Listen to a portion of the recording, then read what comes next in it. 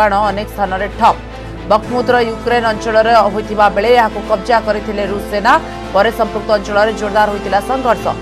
ଏପଟେ ରାଜଧାନୀ କିଭ୍ ସହ ଖେର୍ସେନ୍ ଡୋନାସ୍କ ଲୁହାନସ୍କ ଭଳି ରୁଷିଆ କବ୍ଜା କରିଥିବା ଅଞ୍ଚଳରେ ଚାଲିଛି ଘମାଘୋଟ ଲଢ଼େଇ।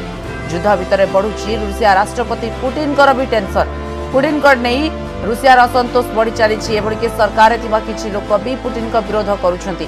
କିଏ ଏଭଳି କାମ କରୁଛି ତାକୁ ଖୋଜିବା ପାଇଁ ଜାସୁସକୁ ନିର୍ଦ୍ଦେଶ ଦେଇଛନ୍ତି ପୁଟିନ ଚାରିଆଡେ ସ୍ଥିତି ବିଗୁଡୁଛି ରୁଷିଆ ୟୁକ୍ରେନ ସୀମାରେ ରହୁଥିବା ଲୋକଙ୍କୁ ସୁରକ୍ଷା ସେବା ଯୋଗାଇବା ପାଇଁ ପରାମର୍ଶ ଦେଇଛନ୍ତି ପୁଟିନ। ସୀମା ସୁରକ୍ଷା ସହ ସମାଜ ଉପରେ ନିୟନ୍ତ୍ରଣ ରଖିବା ବିଦେଶ ଓ ଅନ୍ତରୀଣ ସମସ୍ୟା ଉପରେ ଧ୍ୟାନ ଦେବା ପାଇଁ କହିଛନ୍ତି ରୁଷିଆ ରାଷ୍ଟ୍ରପତି। ଯୁଦ୍ଧରେ ସଠିକ୍ ରଣନୀତି ପାଇଁ ସେନାକୁ ନିର୍ଦ୍ଦେଶ ଦେଇଛନ୍ତି ପୁଟିନ।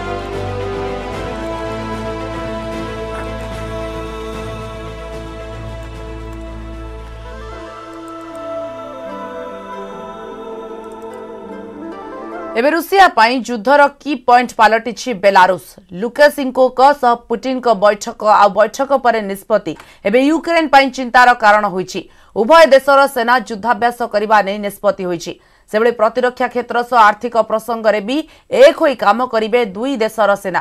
ଆଉ କହିବାକୁ ଗଲେ ବେଲାରୁଷରୁ ଏବେ ୟୁକ୍ରେନ ବିରୋଧରେ ରଣନୀତି ଆରମ୍ଭ କରିଛନ୍ତି ପୁଟିନ।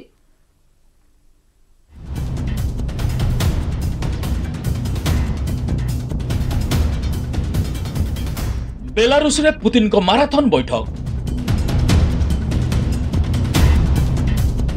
ୟୁକ୍ରେନକୁ ଘେରିବାକୁ ରଣନୀତି ପ୍ରସ୍ତୁତ।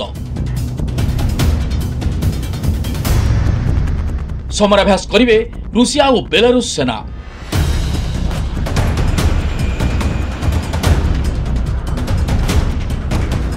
ଯେଭଳି ଅନୁମାନ କରାଯାଉଥିଲା କିଭ୍ ବିରୋଧରେ ସେହିଭଳି ରଣନୀତି ଆପଣେଇଛି ରୁଷିଆ ଆଉ ୟୁକ୍ରେନ ବିରୋଧରେ ଏବେ ବେଲାରୁଷକୁ ହୋଇପାରେ ଆକ୍ରମଣ।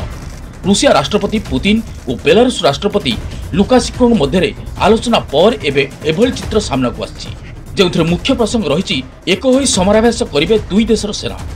ବେଲାରୁଷ ସେନାକୁ ଟ୍ରେନିଂ ଦେବେ ରୁଷିଆ ସେନା। ଏହାର ମାନେ ଯେକୌଣସି ସମୟରେ ରୁଷିଆ ସେନା ସହ ଯୁଦ୍ଧ ଭୂଇଁକୁ ଓହ୍ଲାଇପାରେ ବେଲାରୁଷ ସେନାବାହିନୀ। ସେହିଭଳି ପ୍ରତିରକ୍ଷା କ୍ଷେତ୍ରରେ ଏକ ହୋଇ କାମ କରିବ ବୋଲି କହିଛନ୍ତି ପୁତିନ।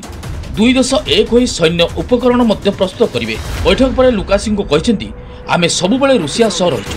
ଆମେ ଏକ ହୋଇ ଆଗକୁ କାମ କରିବୁ। ରୁଷ ଓ ବେଲାରୁଷ ୟୁରୋପୀୟ ଦେଶ ସହ ଆଲୋଚନା ପାଇଁ ପ୍ରସ୍ତୁତ ବୋଲି କହିଛନ୍ତି ଲିକାସୋଙ୍କ। ବିଶ୍ୱର ଭବିଷ୍ୟତ ପାଇଁ ନିଷ୍ପତ୍ତି ନେବା ଜରୁରୀ ବୋଲି କହିଛି ବେଲାରୁଷ।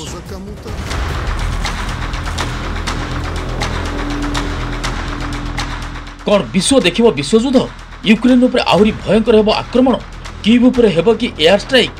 ରୁଷ ଓ ବେଲାରୁଷର ଗୁରୁତ୍ୱପୂର୍ଣ୍ଣ ବୈଠକ ପରେ ଏଭଳି ଚର୍ଚ୍ଚା ଏବେ ଜୋର ଧରିଛି। ପୁତିନ ଓ ଲୁକାସିକୋଙ୍କ ମଧ୍ୟରେ ପ୍ରତିରକ୍ଷା ସମ୍ପର୍କରେ ଆଲୋଚନା ହୋଇଛି। ଏଥିସହ ଅସ୍ତ୍ରଶସ୍ତ୍ର ନିର୍ମାଣ କରିବେ ଦୁଇ ଦେଶର ସେନା। ନ୍ୟୁକ୍ଲିୟର ପ୍ରୋଜେକ୍ଟ ଉପରେ ମଧ୍ୟ ଏକ ହୋଇ କାମ କରିବେ। ଆର୍ଥିକ ସମସ୍ୟାର ସମାଧାନ କରିବେ ଦୁଇ ଦେଶ। ଏଭଳି ଅନେକ ପ୍ରସଙ୍ଗରେ ଆଲୋଚନା ହୋଇଥିବା ଜଣାପଡ଼ିଛି। ଏହାରି ମଧ୍ୟରେ ପ୍ରଶ୍ନ ଉଠୁଛି କାହିଁକି ବେଲାରୁସରେ ଅଛନ୍ତି ରୁଷିଆର ବାର ହଜାର ସୈନ୍ୟ? ବେଲାରୁଷ ଗ୍ରାଉଣ୍ଡରେ କାହିଁକି ଖୋଲା ବୁଲୁଛନ୍ତି ରୁଷିଆ ସେନା? କାହିଁକି ଏକ ହୋଇ ଯୁଦ୍ଧାଭ୍ୟାସ କରିବେ ଦୁଇ ଦେଶର ସେନା? ବେଲାରୁଷ ଆକାଶରୁ କାହିଁକି ୟୁକ୍ରେନ ଉପରେ କରାଯାଉଛି ଆକ୍ରମଣ? କାହିଁକି ବେଲାରୁଷରେ ରୁଷିଆର ମିଗ୍ ଥାର୍ଟି ୱାନ୍ ମୁତୟନ ହୋଇଛି? ଏହା ହିଁ ଦର୍ଶାଉଛି ୟୁକ୍ରେନକୁ ଘେରିବାକୁ ଏବେ ବେଲାରୁଷକୁ ପ୍ଲାନ୍ କରିଛନ୍ତି ପୁତିନ। କୁହାଯାଉଛି ଯୁଦ୍ଧରେ ରୁଷିଆ ଓ ରୁଷିଆ ସେନା କମଜୋର ପଡ଼ିବା ପରେ ଏବେ ବେଲାରୁଷ ସହ ମିଶି ନୂଆ ରଣନୀତି ଆପଣେଇଛନ୍ତି ପୁତିନ।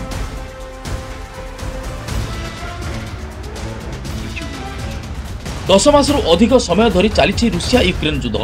ଦୁଇ ଦେଶର ସେନା ପଛକୁ ହଟିବା ପାଇଁ ଚାହୁଁନଥିବା ବେଳେ ଆକ୍ରମଣ ଓ ପାଲଟା ଆକ୍ରମଣ ଜାରି ରହିଛି ଆଗାମୀ ଦିନରେ ଆକ୍ରମଣକୁ ଜୋରଦାର କରିବା ପାଇଁ ଯୋଜନା କରୁଛନ୍ତି ପୁତିନ ଯଦି ଆକ୍ରମଣ ଜୋରଦାର ହୁଏ ତେବେ ପୁତିନଙ୍କ ପ୍ରଥମ ଟାର୍ଗେଟ ରହିବ ୟୁକ୍ରେନ ରାଜଧାନୀ କିଭ୍ ବ୍ୟୁରୋ ରିପୋର୍ଟ